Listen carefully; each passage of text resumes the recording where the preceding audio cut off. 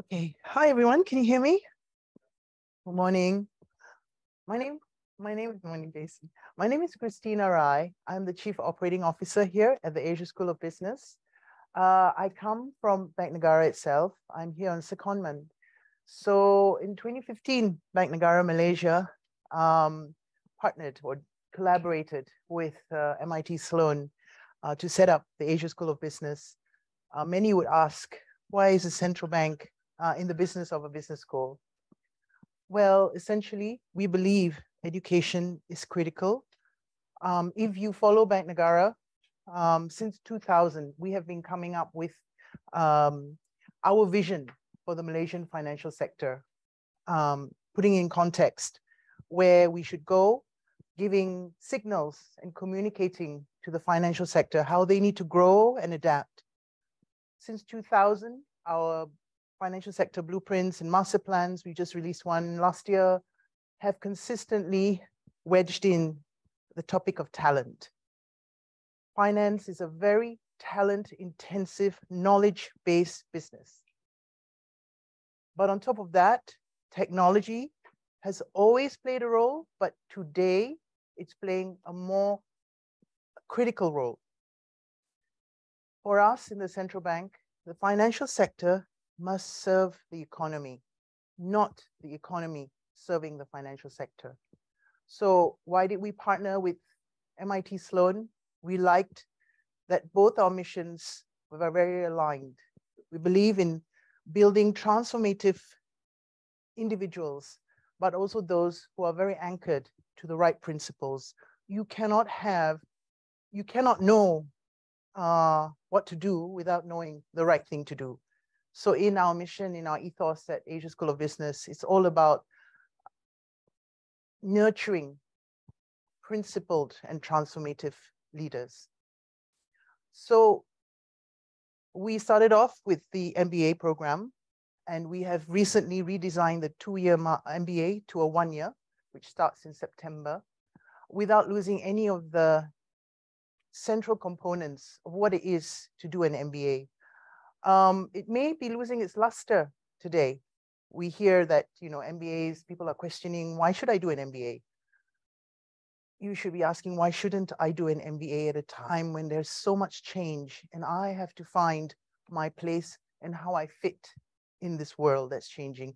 And an MBA brings together all the important components of not just running a business, but understanding the executive decisions. What keeps the C suite up at night? We have learned in, in my in my career, I've been in Negara for 30 years, 32 actually now, if you think about it. Um, I always tell my new hires, clever is given. That's why you got through the door. But common sense, that's not given. And sometimes common sense is very uncommon. And that's what we find more and more. The MBA brings together all the features of what you should do to synthesize and not be just concerned about your interest and your area of domain knowledge. You have to understand why the accountant speaks this way, why the finance officer speaks this way, why the new chief sustainability officer is thinking in a way, risk, people. And as you grow, you become more and more attuned to executive temperament. You have to also have the ability, it's not charisma. You need to kindle confidence in others.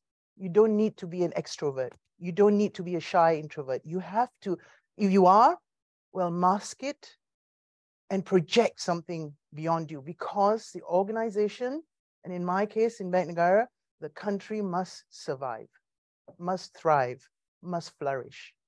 And your ability to synthesize is what will differentiate you. That is what an MBA does. It differentiates you from a silo, mono, technical, one area. I don't, I don't believe in mono. I think mono is, is necessary, but as you grow up and grow upwards, you have to harness the best of others. And that is what an MBA administration, how do you administer the best out of everyone's strength, complement each other? So why do we do this as a central bank? As I said, we want the financial sector to grow and serve the economy. We have seen time and again how greed, excessive risk, um, endangers not just an organization or a firm, but the country. I joined Bank Negara in 1992, and my onboarding was all about Bank Negara's foreign exchange losses because the sterling crashed out of the ERM. And we had a taint on us. But those were high level decision making. But in the bank itself, I found incredible individuals, very passionate, very much into doing good for the country. And then in 95, Nick Leeson brought Barings Bank down. I went to visit a friend. Well, a friend of mine came from Italy, and I met him in the lobby of the Regent Hotel. And I sat there waiting for him. And then I realized, hey, a few weeks ago, Nick Leeson stayed at the Regent Hotel fleeing Singapore. Barings Bank was one of the oldest banks, was the bank that served the Queen of England, was the bank that funded the Napoleonic Wars. And in an instant, it was gone because of behavior, bad behavior, risky behavior. Clever, but really, did you have the right motive? 2008. Again, you know what you should not do, but you did it because you wanted to pad up the figures. 2009, Bank Negara redefined our central bank act. We were born in 1959. By 2009, we refreshed our central bank act to give us powers. And we looked around the 1997 crisis, the crisis of um, 2008, and we redesigned uh, our act and came out with the Financial Stability of uh, Services Acts as well, everything to, to put together. But that act is incredibly, incredibly powerful, but we use it with great discretion we learned that in order to get that autonomy, we have to also exercise responsibility. There are many ministries that do not want us to have that power. So we had to have a compromise. But what it gives us is if there is a behavior in any sector, if there is a hint of instability, we will come in for the sake of the country. And it's defined there in the best interest of the nation. And there's no other sector in Malaysia that has that phrase of best interest of the nation. So this school is a personification of what we as a central bank believe individuals should aspire. And here we have so much interaction with a great personality, Joe Cherian. I don't think he needs to work. He's made it, really. But this is the other thing. Um, coming to ASB and, and interacting with people from MIT and all over the world, we realize that there is one thing that connects us all, the mission of doing good for others. If you've read his profile, you know, you know, um, engineer from MIT, finance masters and PhD from Cornell, working in the private sector, you know, handling billions as chief investment officer at Credit Suisse, working in and, and serving NUS in their you know intellectual rigor, but he's back here because he wants to give back to the nation. And I may share he's a Rolodex. Um, in Bank Negara, I, I, I don't really mix because we were taught to keep an arm's length distance. So coming here, I had to like reach out to people, and he's the first person I go to, and it's always like, "Do you know this person? Yes. Can you connect me? Sure." And after a while, I'm like, "Actually, who are you not connected to? Maybe we start with that rather than but here's the thing, he wants to give back. He's going to teach you about finance and crises. But behind this session you're going to have, I'd like you to also understand of the kind of people we draw to ASB. And Kolawole, do you know what Kolawole means in Nigerian where he's from? One who brings wealth. I'm like, and you do finance? I don't know, but your parents got it right. But the principle of it must be anchored. So the executive temperament, this is what an MBA is meant to give you. It's not a mechanical uh, model based. Our program is wonderful. You learn mens manus, the MIT's uh, pedagogy of, of uh, motto, which then brings in mind over and then hand, think and then do. Our action learning is a pedagogy we we we we we um, push through all throughout the, the the learning experience. But then it's the right thing to do. That one, as I was taught, integrity is what you do when nobody can see you. That was how I was brought up in the bank. And I've seen many people fall by the sword of principles. Also, people who stood by their principles and would not shake great principles. So, to be touched by greatness is incredible. And when you come here, you have the umbilical cord and the community of people who are touched and will give you that greatness. So, when I ask Kolawole, why? Why come to ASB? It's not just about the business school, the MBA, but the opportunity to come to a pulsating region, to learn something, to marry later on Africa and Asia, to have an impact. And that again is what differentiates. To be different is one, but to make a difference is even greater. And I think today, when you listen to Joe and, and Kolawole, I'd like you to understand that at the end of the day, we're here to make a difference. It'll take time, but this journey is impactful. And I like to end on, um, I, I don't know, are you familiar with Simon Sinek? Yeah. The one that I love most about Simon is when he talks about living a fulfilled life. You can achieve, anyone can accomplish and achieve, anyone can get the A's, anyone can be the best. But to be fulfilled and live a life fulfilled, you have to serve others. And that is where the distinction is to make an impact, to serve others, to come back, to act for the greater good, to give back to Asia and Malaysia beyond what you can already get and, and live in Florida and smoke cigars. he doesn't smoke, he doesn't drink. So anyway, ladies and gentlemen, thank you for your time and um, introducing you to Joe and Kolawole. Thank you very much, Christina. Uh, let me tell you what a privilege it is to have Christina open for us. I personally asked her to uh, do it. Uh, she's one of our leading women in Malaysia, in Asia, in fact, and um, and uh, proud that ASB promotes a lot of women at leadership positions. Apart from Christina, Stephanie is also head of admissions. I can tell you, I worked on Wall Street, and it's not necessarily true that we practice what we preach uh, ESG, sustainable investing. And I'll talk a little bit about that. And I hope you go away feeling like, you know, it's easy to be, to do good and to do the right thing when you're a regulator. The tricky part is when you're in the industry and paid a lot of money, the rewards and incentives are very uh, skewed sometimes. Uh, can you still do the right thing?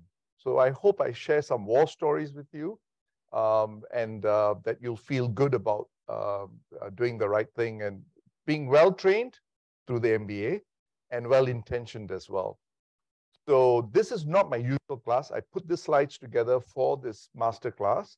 Uh, I do teach a portfolio management class uh, to MBAs and executive MBAs, and also do quite a bit of executive education.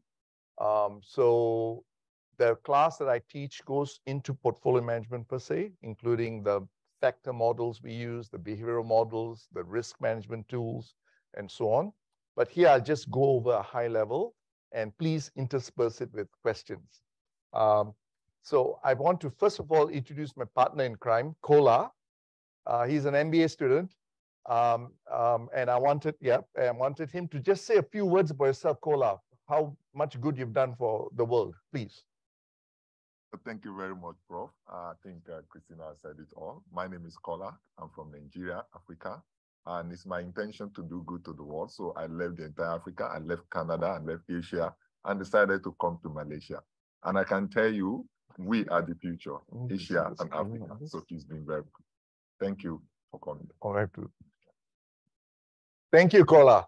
Uh, Kola, you're taking my class this semester, right? The, you already got class participation points. Okay, very good. Thank you. Um, oh, thank you very much. Everyone online, I presume, can see me uh, and hear me. Uh, how many do we have online? About 28? Okay, So those online, if you have any problems, just raise your hand and we have staff here to take care of you. I also want to introduce my uh, another partner in crime, Jason Yap, who helped me, taught me uh, Menti, which is the poll everywhere. I use poll everywhere. I'm also a professor at Cornell, so I use poll everywhere at Cornell, and I used to be at NUS. We all use poll everywhere. I came here, I turned on my poll everywhere, it doesn't work. They said must use Menti, higher level, MIT what. So Jason actually transferred all my slides thanks to him, and he even showed up on a Saturday morning overtime. You know, he's my uh, academic associate uh, co-lecturer at the portfolio management class this May. Uh, thank you, Jason. Okay, let's get started. So what we'll do today is we'll talk about leadership from the trenches. Uh, slight different way of doing things. When you go to industry, I keep saying Wall Street because I work there. I, am actually the reason why I know so many people is because I'm an old man. I left Malaysia in 1982. So you could do the math, okay, after high school. Uh, don't ask me the explicit age, but you can do your calculus, right? Uh, so basically, um, I've been away for a long time and I came back. I'm still Malaysian. I didn't give up my citizenship and I wanted to give back when MIT and Christina and all that called. I said, sure. You know, um, uh, from Singapore, I flew over. I was at NUS Business School. That was my last stint after I came back from New York. Um, uh, that said, um, I want to say that when you go to industry, I think it's a little bit the same here as well, except the fees are a lot higher. Okay, we'll talk about that too. People start with the product. Why? because the industry says, here's what we're going to sell today. Structured product or some kind of unit trust or mutual fund or some kind of hedge fund or private equity fund. And then there's a big push by industry from the top and everyone is selling that. Have you all been familiar with that too? That's push product. I'm not talking about shampoo and all, that. I'm talking about financial products. Huh? So we should always step back. When you are trained in an MBA program, and if you're trained in finance, you ask, what is the function I perform before you throw the product? And the function you perform is client driven. What are the needs? What are the goals of the client, whether it's for retirement, whether it's for wealth management, whether it's for education? You ask that first, and then you design the appropriate product. That's a true financial advisor. That's a true financial counselor not start with the product. That's a reverse way of doing it. Okay. So I'm going to start with the functions and then ask you through Menti to pick the right product as opposed to starting that way. Uh, I don't like to use bad words, but you know, in America we say ass backwards. Is that okay? Legit? Don't do it the ass backwards way. Sorry, I, this is a strong word in Malaysia. I apologize. I don't smoke cigars. I don't drink. For your info, that's why I'm not in Florida. I'm in KL. Okay. Uh, anyway, then I'll talk about some of the shenanigans that happened. Again, my stories are all from industry uh, in Wall Street, because that's where I was. I was in the middle of all this 2008 crisis, uh, dot-com crisis. I entered the industry. I was a professor. I went to Wall Street, and that's where I jumped right into the financial crisis. 1999, I went on sabbatical, and uh, then dot-com crisis happened. You all may not know this, but dot-com was when we had a bubble dot-com is no different from your current bubble that you're seeing in the startup community, Silicon Valley, blah, blah, blah. It's not bad. There have been great companies, Facebook, uh, Amazon, Google, that came out of that uh, bubble.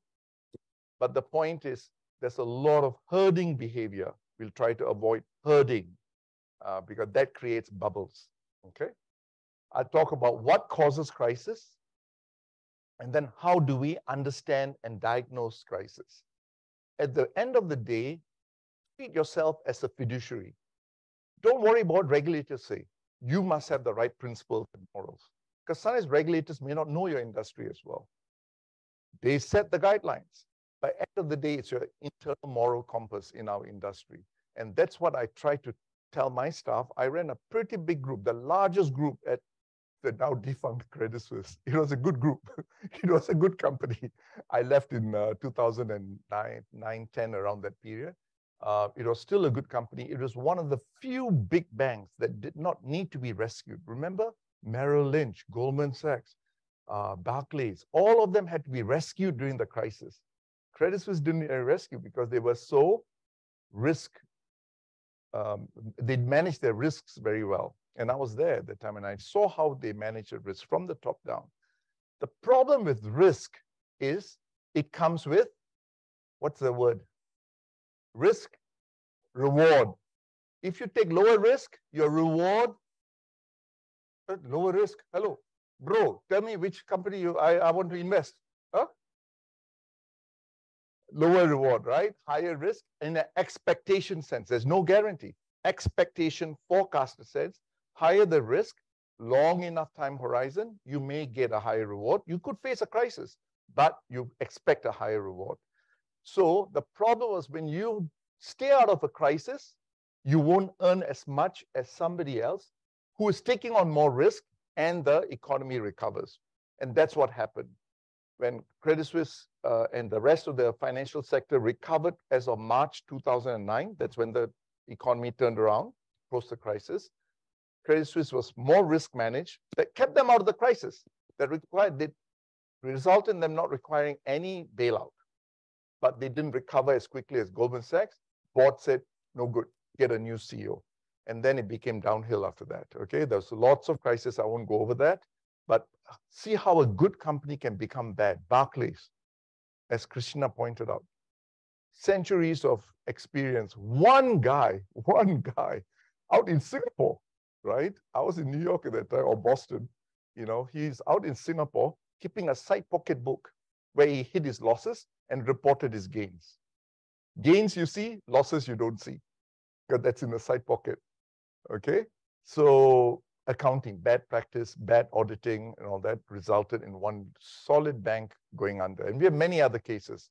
Okay, so let's move on. If you have any questions, please raise your hand. And if you are on the uh, Zoom, you can always raise hand there, and Jason or, or one of my colleagues will uh, put it up. Okay, first of all, let's start with Menti. We want to start using Menti, the poll. So got your smartphones ready? It should be on silence. Yeah, yeah, pull it up, pull it up. Uh, here, we don't charge SMS, free. Okay? A banker is a fellow who lends you his umbrella when the sun is shining, but wants it back the minute it begins to rain.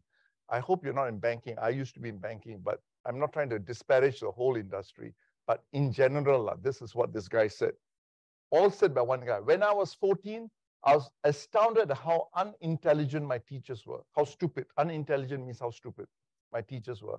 By the time I turned 21, I was amazed how much they had learned in the last seven years. Those teachers got smart in seven years. I never let schooling interfere with my education, but don't take it too seriously. ASB, you get a good education. Be careful about reading health books. You might die from a misprint. Okay, who said this?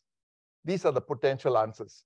Socrates, Kim Jong-il, don't know who he is, Donald Trump, Mark Twain, Kim Kardashian. Okay, this is how you answer. You go to menti.com and use the code 79230658 and Jason will be keeping track. He can see all of you, so you better answer. Yeah. No, no anonymity. Once you enter here, Bank Negara, you got no anonymity. Just kidding, just kidding.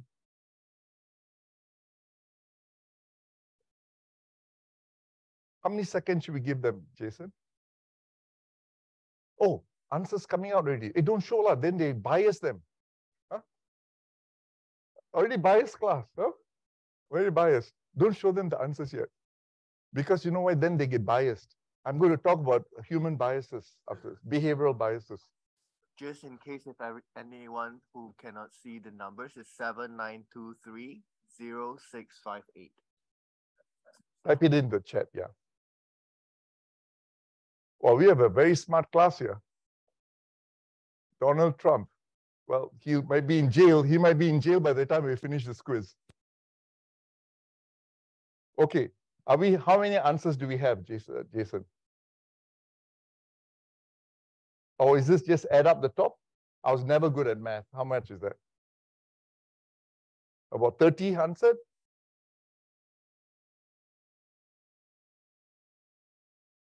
Okay, that's pretty good. Not, not, too bad, not too bad. Okay, let's close the poll. So the answer is actually Mark Twain. He said that. Um, and uh, basically, he is a very famous writer, quite co com comedic, but he's also a great man. He wrote against um, racial discrimination. He wrote against the Americans plundering China during the Boxer Rebellion, and where they plundered the Summer Palace. He wrote about that.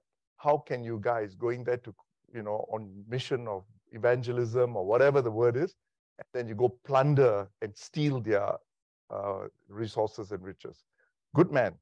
So he had the, his moral compass right. Okay, very good. We'll close this. That's the right answer, Mark Twain. So I like people like Mark Twain and all the other people who actually make a difference because they're way ahead of their time. Just like in the financial industry, I respect the people who are actually way ahead of their time by being more inclusive. Okay, that means when they have leadership, they don't look at whether you are Asian, European, or male or female, or whatever the case may be. They pick the best person for the job. Okay, so to me, Mark Twain is my one of my heroes. I've got quite a few, and the reasons because he spoke so strongly against racial discrimination. 19th century, you know, we're not talking 1952 or 1962 when the Civil Rights Act was passed in the US.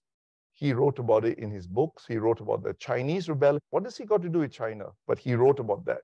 How can you guys go there and plunder the loot of the people of China in the, during the Boxer Rebellion? Anyway, just a side note here. So let's talk about, instead of products, we're going to talk about a functional approach. It's a fundamental tenet in finance that you talk about functions, not institutions or products. Institutions and products are a result of the function. So then you have to ask yourself, what's the function of the financial system? Okay, that's the question you should ask yourself. We'll go through that. It should be constant across geographies, cultures, income levels. It should provide opportunities across all income levels, across all races, across all um, um, uh, geographies. Now, you may say, oh, America is different from Malaysia, Malaysia is different from Singapore. True. You adjust it according to local customs and cultures and acceptances, but the function itself, retirement, how you save for retirement in Malaysia or Singapore or US or Hong Kong is no different from how you save for retirement in Japan. Same. We all have the same needs. I'll go over that. You follow? But we all get the wrong advice depending on which country you're in. Okay? So you have to be careful there too. We'll talk about it and you're going to answer through Menti. Yeah? So keep the smartphones uh, fired up. And if you need a charger, ask our staff. They got chargers for you. Okay. Um, institutions are just a natural outgrowth of the function it's supposed to perform. So don't start the other way around. Oh, Goldman Sachs is a great bank. They define what finance is. No, no, no, they don't. They don't. They may be gone in 10 years, like Barings and Credit Suisse. Okay. I don't, I hope you're not from Goldman. I don't mean it that way. I'm just saying metaphorically, right? They almost went under financial crisis. And then after they had something called, well, I won't even mention, it's a very sensitive topic uh, in Malaysia, I understand. Okay. So defining functions is very critical. And then only you talk about what's the right product, what's the right institution to serve that need, whether it's an asset manager, whether it's an asset owner, whether it's someone from corporate banking. I think some of you are from corporate banking or investment banking, you need all kinds. A high net worth investor sometimes needs to structure solutions. They don't go to an asset manager to structure solutions. They structure with a corporate or investment banker. You follow what I'm saying? They have the principle. They have the balance sheet to be able to structure. An asset manager has no balance sheet. They manage clients' money. You follow? So it takes sometimes a whole team to get the right solution. And if you're the financial advisor, assuming you become a financial advisor or you become an investment banker, whatever the case, you are the, um, like the, what do you call it? The person who, conductor. You're like the conductor in an orchestra, okay? But we also have keen competition, free markets, and so on, that only the best survive. It's a survival of the fittest. It's not an easy job. Jobs get displaced, get transformed, companies get displaced and transformed. So you've got to be on the cutting edge. And that's why I think continuing education is very critical. And Malaysia has it right, in my opinion. I used to teach in NUS uh, Singapore for 13 years, and we had a terrific executive education program for those with a CFA. How many have CFA here? Kola. Yeah, but hello. It's real. Show me your certificate. Huh? there we go. Okay. Uh, no CFAs. So people with the CFA used to come for this training program uh, in Singapore. The largest delegation we had from Hong Kong, Japan, Dubai, Abu Dhabi, US, from California as well. We had participants. Uh, um, uh, I say Singapore, Hong Kong, uh, Thailand, Indonesia, but the largest contingent always came from Malaysia. And you know why? Because you all have some kind of uh, training uh, budget. Companies are supposed to put money aside, uh, financial institutions. I think Bank Negara requirement or something, they have to put money aside for training. Again, I keep telling you, Malaysia is way ahead of the curve on many things. I'm not kidding. I come from America and I come here and I see, whoa, I see more women in leadership positions. I see you have a training budget that now only in America and Singapore they're talking about to create budgets to train people. You had it. So EPF, Kenanga, CIMB, RHB, PNB used to send participants, Petronas too, to my Singapore program because they had the budget for it. And the other thing that's an envy of the rest of the world is the external fund management program. It was not Singapore who came up, it's not GIC who came up with it. They told me Malaysia came up with the idea. During the 97 crisis, unfortunately, they abandoned. Bank Negara came up with the idea. They had to abandon it because of the crisis. And guess who copied it? Singapore did. And now they have one of the most successful external fund management programs. That created the financial center that Singapore is. Because when you give money out to clients, your reserves money, asset managers, asset owners come and make their headquarters there. So that idea itself came from Malaysia, but Singapore implemented it, and now they've become a very big financial center. So all I'm saying to you is don't give up hope. Don't go to Florida and start smoking cigars. Stay here and work some more, okay? Um, okay, very good. So these are the functions. Let's go over the functions.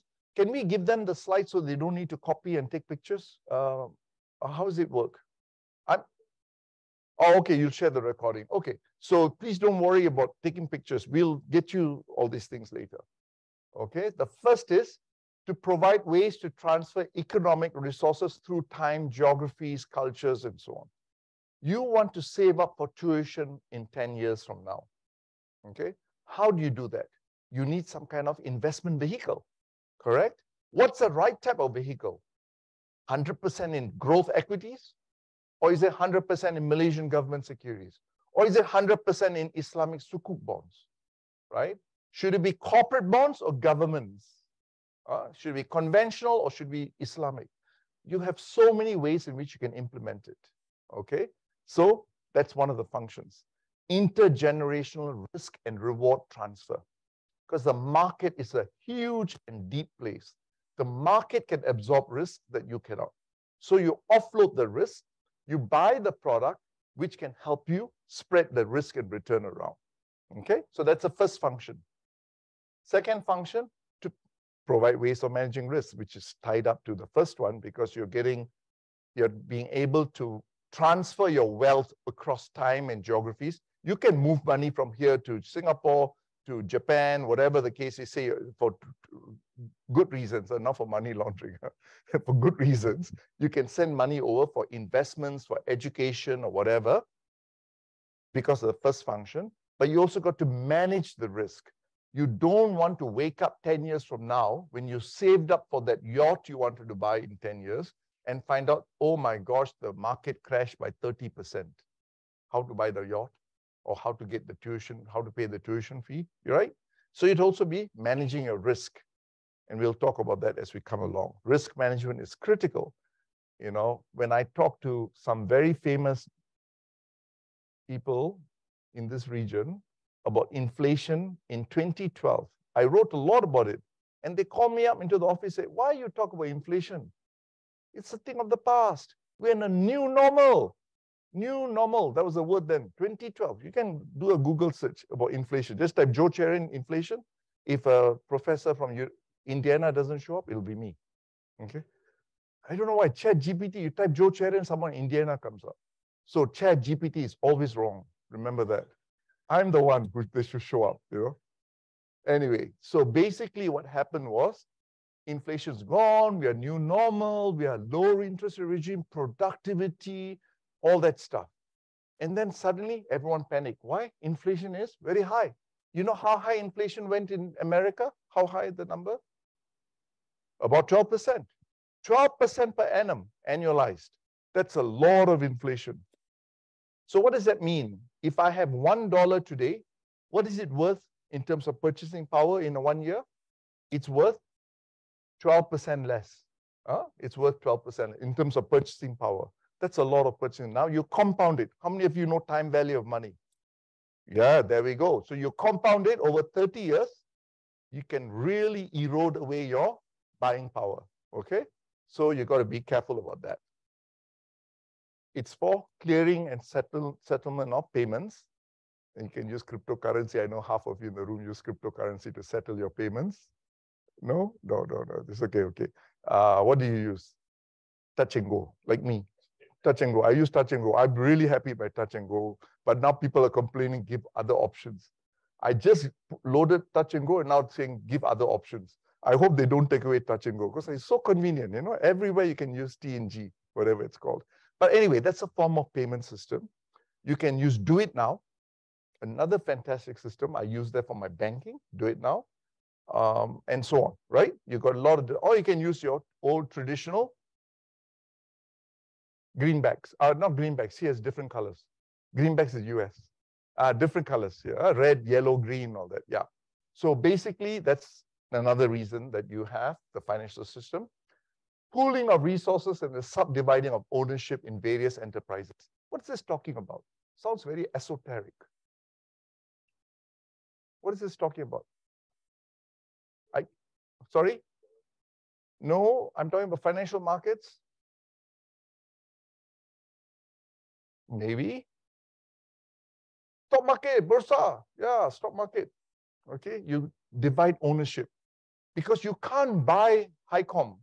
Does Hicom still exist? No. Uh? Oh, okay, sorry, sorry. I've been away for too long. Give me a good big company. TNB still exists, right?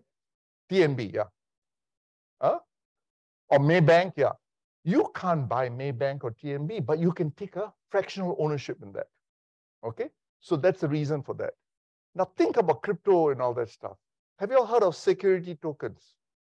You have heard of security tokens. Security tokens are collateralized crypto, crypto assets, collateralized. When it's collateralized, it means there's something underlying guaranteeing its value.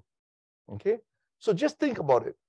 You need to be a what's called an accredited investor to buy hedge funds and private equity.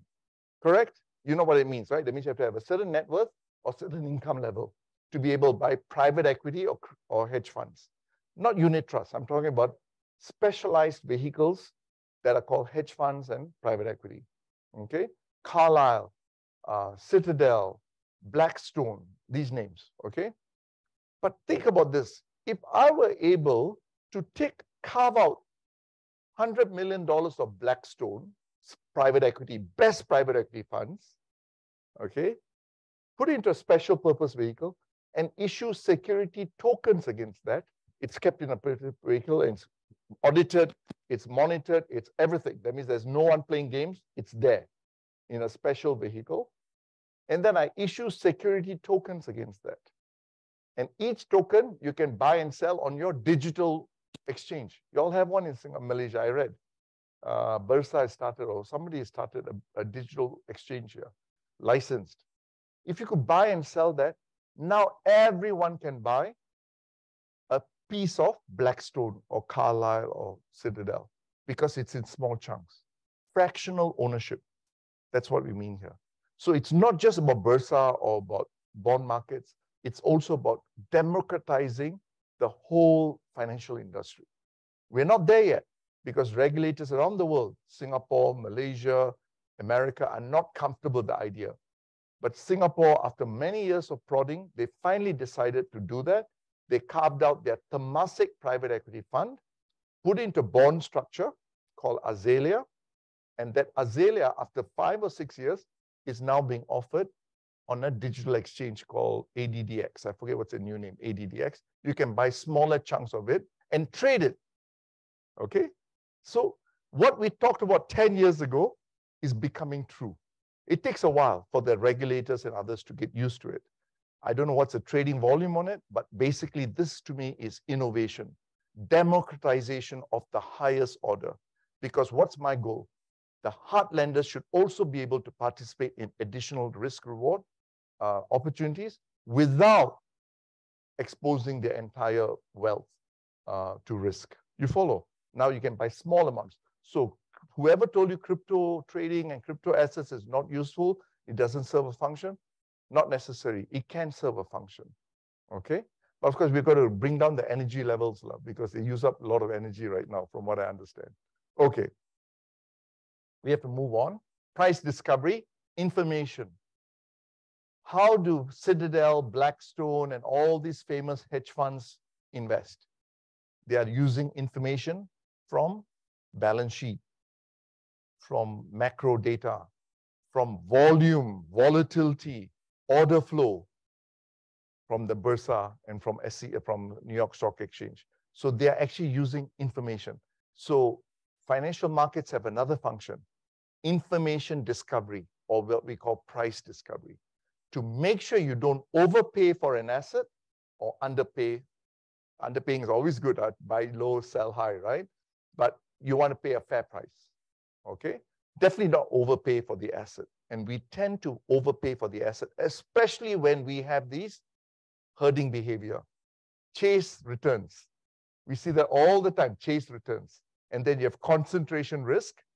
I'll talk about the Kindleberger effect. That's called the um, um, Minsky effect. Everyone's chasing, everyone concentrates, and then something happens, you have systematic problem. The whole sector falls value, okay? And finally, incentive problems. When you have a principal and agent, have you all heard of adverse selection and moral hazard? It's like SVB, right? Banks, not necessarily SVB because they were actually invested quite safely.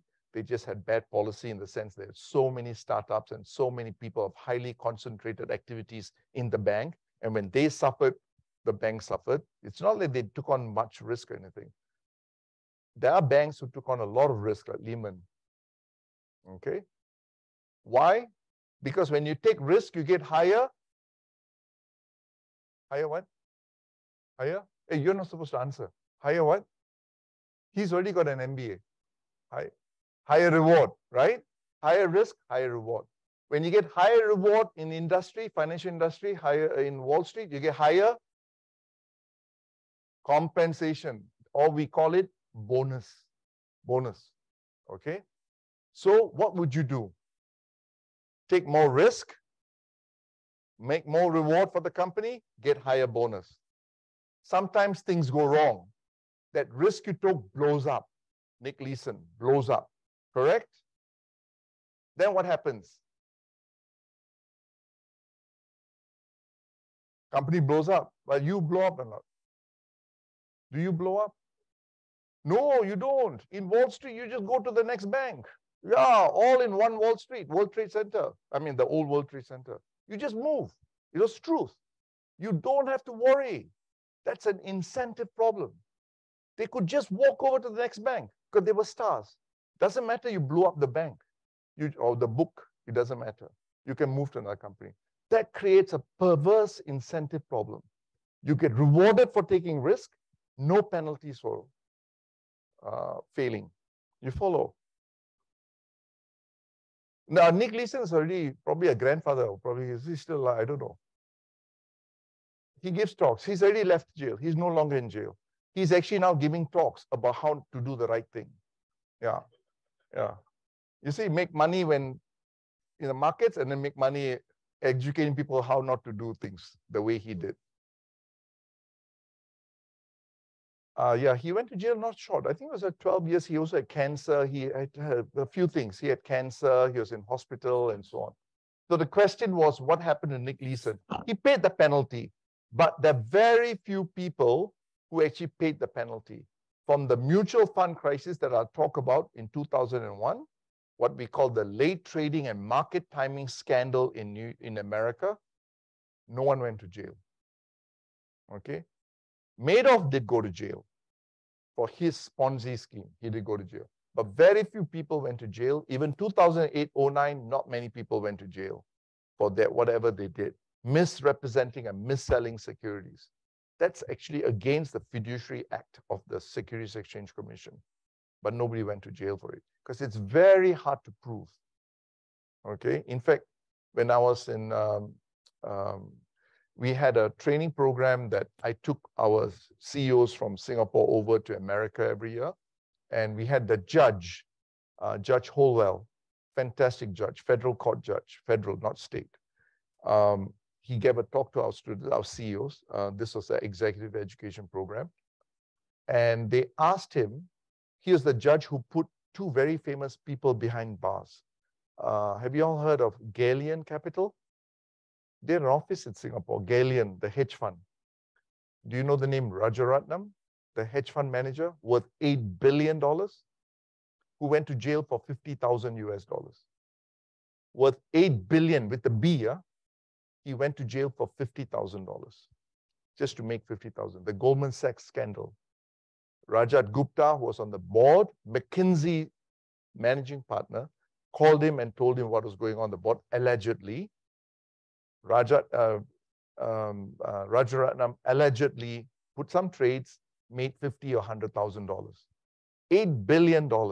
He just made 50, 100,000. He spent 11 years in jail, just came out. Okay. Or maybe he's still in jail, I'm not sure. So the judge said he couldn't believe it. And this guy was not greedy. He actually donated a lot of his money away to charity. He was very, very generous guy. He said, I can't believe it. Why did this guy risk his imprisonment, insider trading, it's called insider trading, for just fifty to hundred thousand dollars? It has to be greed or something that's driving you, or compet- I, I, he couldn't understand. Judge Holwell, Richard Holwell, fantastic judge. So he said, unfortunately, he's the only guy we were able to catch on Wall Street on insider trading. Why? Because he was being tapped. Uh, FBI had a tap on him for something else, not for insider trading, for something else. There was an accusation that he was funding some terrorists, which was not true. He was not doing that for sure, guaranteed. They said he was not. But because some rival of his said he was funding some terrorist organization, they tapped him. And when they tapped him, they heard him talking about gold.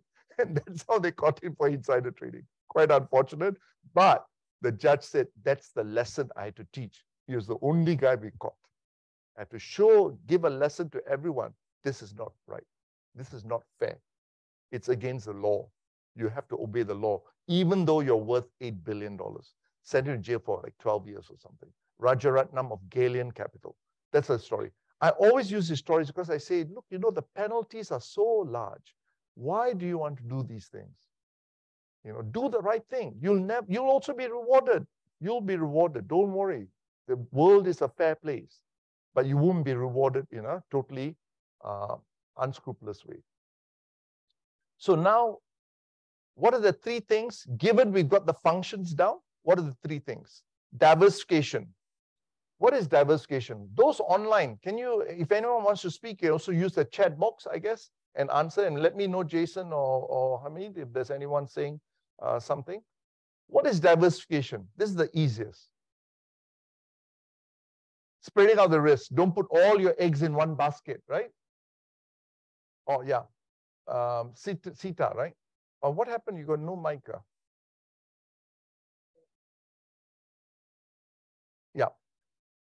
Spreading of risk. Okay, Sita just said spreading out the risk. That means don't put all your eggs in one basket. Diversify. Whether it's your career, whether it's your um, uh, assets, whatever it is, you diversify. It helps because it reduces risk. Hmm? That's a statistically can show it reduces risk.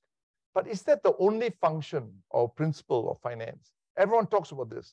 What are the other principles? I give you a hint. There we go. Very good. What is hedging, Sita? Uh, put on your mic.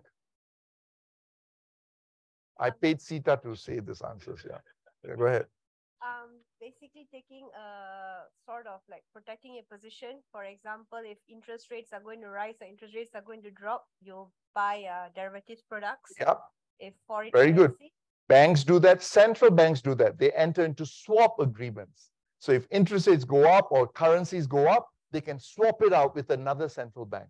They're called FX swaps, central bank FX swaps. So they serve a function, but the whole idea is to reduce the uncertainty about the outcome. I'm a farmer. I want to sell my rice, rice farmer, sell my rice at 100 ringgit, whatever the cost is, per 100 kg five years from now.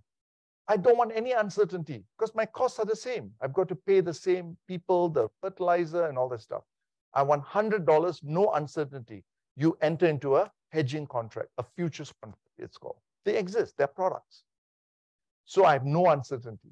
But to get that uncertainty resolved, that means to be to eliminate the uncertainty, you give up any gains. Huh? If the price of rice goes up, the spot price of rice five years from now goes up, you still get $100. If the spot price of rice goes down, you still get $100. You benefit because the price of rice went down, but you still get $100. Or think of palm oil, whatever the case may be. So both ways, you don't gain or lose. It's fixed. You follow? Okay, so that's called hedging. Give up the gains to pay for the losses. When you enter a swap contract with two central banks, Federal Reserve and Bank Negara, and they have multilateral swaps as well with uh, ASEAN and China, Japan, Korea. They have multilateral swaps.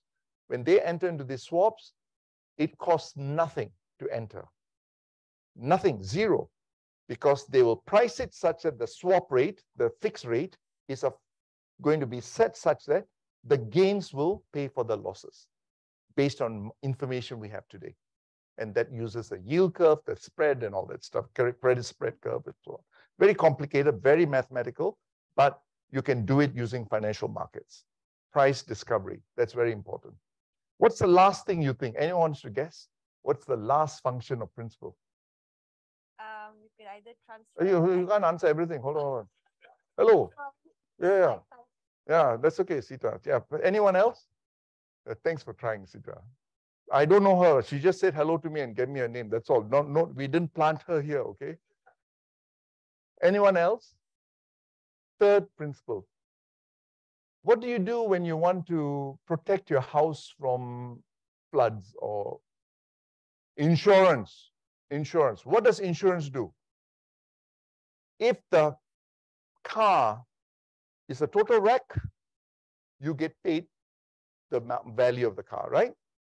If nothing happens to the car, you get nothing. Okay? So you're protecting yourself against downside risk. Let's say you have a house.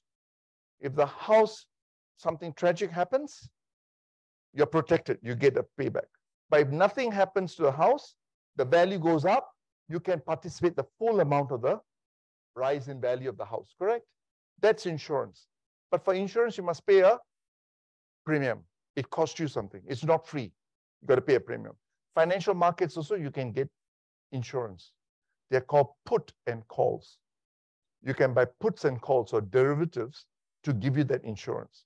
So when you talk to a banker, they're putting together a structure that includes either futures contract or a swap contract or a put or a call that allows you to hedge against different types of risk. Diversification is for free in the sense that apart from paying commissions for the stock, you buy a basket or you buy a mutual fund from, give me a big mutual fund company. Uh, no, no, it's Malaysia. Don't, don't always talk America. We are Malaysia now. Huh?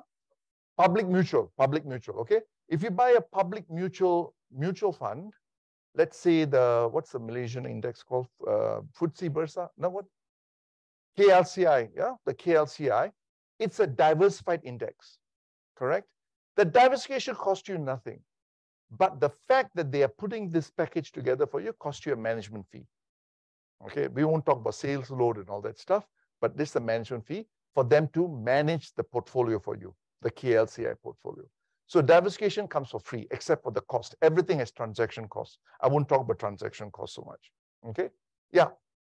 Oh, tail risk hedging. Philip, can you please identify yourself? Is oh You can unmute and share if you want to, uh, Philip. Yeah, hi, no. Uh, because um, it was asking about the what you buy insurance. Uh, Yeah. insurance in the end, if nothing drastic happens, you're just you'll just be paying premiums. Basically, so I would say that's more towards like um just form of tail risk hedging, right? You're paying for something that most probably won't happen, but if it happens, you're glad you have it. there, there we go. So you cannot have an element of regret. Philip, are you where are you based in uh, are you in Bangsar?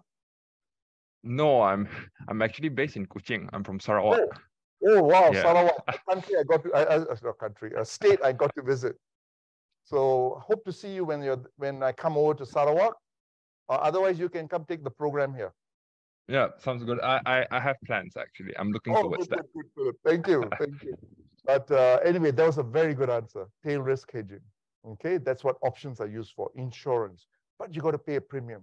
You can't tell the banker, sorry, I don't want to pay. I want free. Cannot. You don't get car insurance for free. You don't get house insurance for free. Why should this financial product insurance, or as Philip calls it, tail risk hedging, be free? Right? Okay. So those are three things: insurance, and now I'm going to show you graphically how it works. Okay. This is diversification risk reward frontier. When you take an MBA class here, Kola, did they teach you here? This? Are you sure? Huh? You got your tuitions worth? Huh? Okay. This is called the what frontier? Efficient frontier. Okay. By the way, this master class is not included in your tuition. Huh? I'll collect later. He's buying me lunch for this. Um, diversification is efficient frontier. You have to move to the northwest frontier, northwest. Increase the return. So look at it. I don't have a pointer, but basically, for the same risk, if I stay at a point here, and that's what Public Bank and Kenanga and RHB and Maybank Asset Management, that's what they're doing, the asset managers. They're trying to take you from a point which is inferior for this risk I should be getting this reward according to diversification theory. This is mathematical. This is nothing to do with uh, um, uh, intuition. This is statistics. I can improve it by taking on a basket of securities. That means I want to be on the efficient frontier. I get a higher return for the risk I'm taking. You follow? Or if I want 4% risk uh, return, I shouldn't be taking on this much risk unless your company lah, you you can offer low reward, uh, low risk but higher return. What's your name? Farul, Farul, yeah. Farul's my friend now. So basically, you know, you cannot get for this return, and you know, you shouldn't be getting for this return, take on so much risk. Huh? You have to be here. Lower risk, this return. So it's like an optimal frontier. Now, of course, in reality, you may not get be able to reproduce this curve because of transaction costs, because of management fees, because of slippage, right? Slippage is when you buy something, the price goes down or goes up. Uh, depending on whether you're buying, it goes up. If you're selling, it goes down. You've noticed that sometimes when you have to buy, the price goes up. When you sell, the price goes down. Those are what's called illiquid stocks, illiquid names. That's what happens. So that's diversification. This is hedging. You see, distribution, uncertainty, Gaussian curve. How many of you remember your Gaussian curve from high school, maybe primary school? Huh? Called normal distribution, univariate distribution. Huh? So you're trying to mitigate the uncertainty or the spread in the returns, and you want to get certainty, which is a fixed price. I want to sell my rice or my palm oil at a fixed price. I enter into a futures commodity contract at Bursa they have oil palm futures, commodity palm oil futures. That's how I do it. Okay. As a palm oil plantation owner, I can fix my price by entering into a futures contract. That's called hedging. Give up the gains to protect myself from the downside. The third graph is insurance.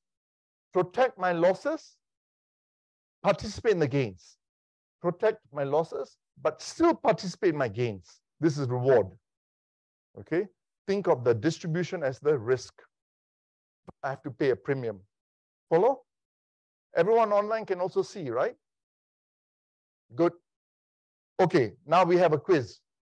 Time for a quiz. You know my president, Sanjay Sarma, world class. You know your RFID that never works at the toll booth? He invented that. But he said Malaysia used the substandard one. His technology is very good. Globally, it's very good. But he's basically the writer. He's a rock star. I'm telling you, we're so lucky to have him. Unfortunately, he just went back to Boston. If not, he would be here too. Uh, professor Sanjay Sarma, a uh, engineering professor from MIT, chair professor, vice president MIT. He's now our president. And basically, um, um, why did I bring up his name? Oh yeah, he told me, he told me, uh, he told us, the whole class, that the attention span of a five-year-old kid is 20 minutes. The attention span, those of you who have five-year-old children, you know, attention span MBA prospect is five minutes. So you must give a lot of quizzes. Huh? I'm just joking. I'm just saying, you got to keep the class engaged. So Jason has helped me with Menti. Is it up or not yet? Okay, so now you're going to Menti. Okay, now you have to answer. Eliminating exposure to bad outcomes, that's tail risk, as Philip said, by paying an upfront premium. What is that called? Hedging, diversification, punting, hustings, insurance. Same code.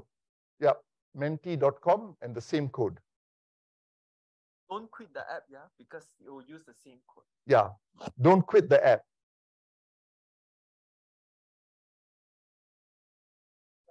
Refresh, refresh, start, start Menti. Sorry, sorry, we have to start Menti. Okay, now you can see. Huh? Refresh your smartphone, refresh. Oh, ah, okay, okay, here we go. Hey, don't show the answers, don't show the answers, hide the answers. Yeah, hide the results.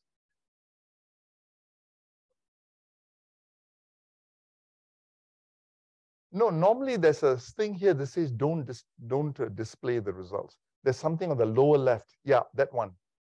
Yes. Hey, Jason, teach me and I teach him back. Sharing is caring. There we go. Good one. Okay, we give them about three more seconds and then you're on it. You have to be fast. Huh? This class, you have to be fast. Okay, let's go. Let's see what's the answer. Insurance, very good. I, I'll ignore this one, one person. Uh, that could be Cola.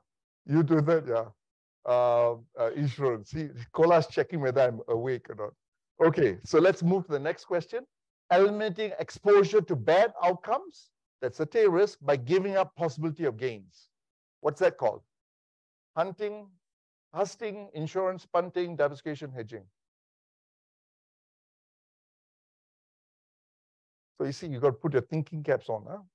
We are recording all the answers. Huh? This is like a GMAT. Huh? If you don't pass, you cannot come to ASB. Okay, go. Excellent, excellent. Next one. Optimally balancing risk and return trade-offs to move the efficient frontier in the northwest direction. Go. This is easy. If your app is on, you just can answer it very quickly. So you, now you recall. You'll never forget that you learned this in this class. Okay, go. What's the answer? Should be diversification. Perfect. Excellent, guys. You guys are doing very well. In fact, you can um, uh, waiver my class. When you come do MBA, I give you permission. Okay, now, Hamid, am I allowed to do waiver? Cannot. Ah. Oh, okay, okay, sorry. If I had the right, I got no authority. As you know, I'm just a professor. They control the agenda who can waive my class because you answered three very important questions correct. Okay. First question, we're going to use functions to define products, not the AB way. I won't use bad words. AB means, don't forget, huh? American word, AB. They forgot already what it means. Okay. The average investor is concerned about three fundamental issues during retirement. Let's say I polled a bunch of uh, uh, retire, uh, uh, people saving for retirement. I went to the EPF membership board and asked them, can you please give me this, ask them to ask what's your most important issues? And the answer, we polled them, and the three most important things they said was receiving a reasonable level payout every month in retirement. So when I retire the age of 68, or I don't know, here 65, retirement 65, 65. So if I retire the age of 65, Singapore is 65, here I think it's also 62 or 65, 62 or 60, okay. Um, I think you got to live long, you got to work longer, lah. sorry. it's going to come, I know it's going to come. Uh, I want to receive a reasonable level payout every month to pay for my expenses, retirement expenses, for my food, for my housing. Let's say I own the house, so I don't need housing anymore.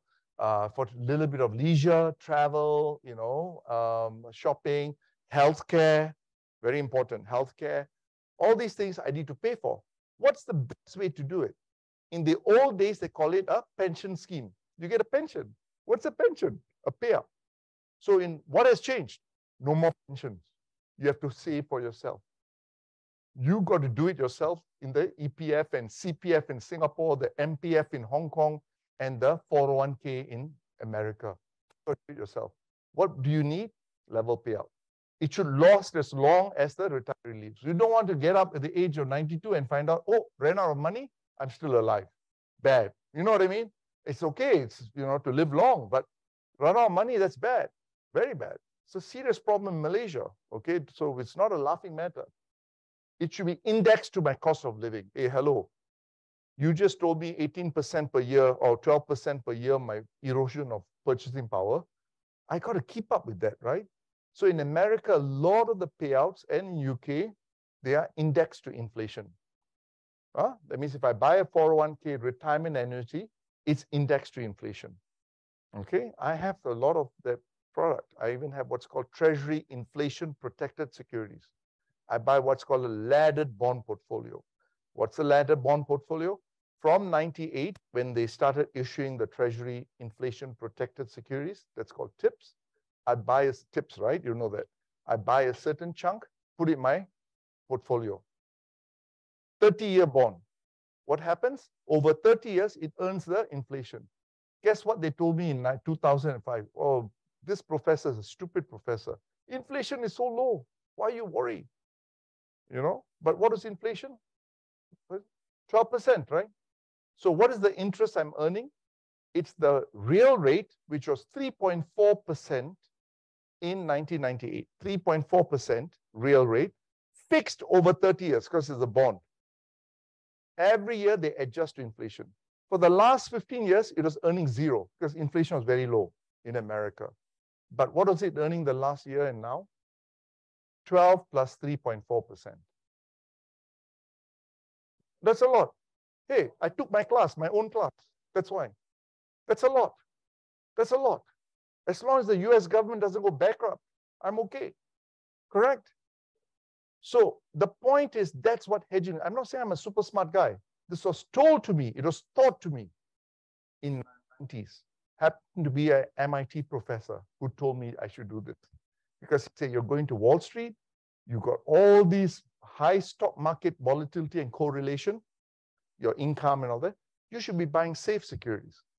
So I didn't come up with this idea. He told me you should go buy this, MIT professor. Huh? Yes. I, I have a question. I'm Go. curious.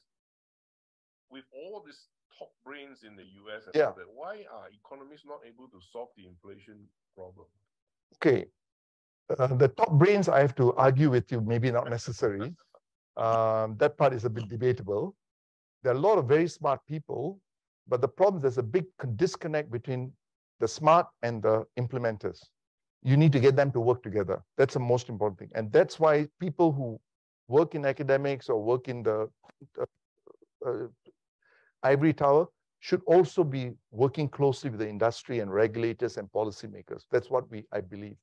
They need to work together so that we can have better outcomes. If you look at the world today, the situation is really bad, right? Political leaders, economic leaders, all of them are doing such, making such bad decisions. You ask yourself, where are all the smart people, right? They're there. It's just that there's not enough collaboration. But that said, inflation is not easy to solve, right? What's driving this inflation? Uh, scarcity due to what? Supply chain. We started the pandemic, then we had all these wars and we have all these political problems, half of it being fighting with China, which was supplying the rest of the world, right? So that's created a serious supply chain problem. And because we've reached this new equilibrium of protectionism and inward lookingness, obviously what they taught you in economics 101, that free trade brings about more efficient outcomes. It's true.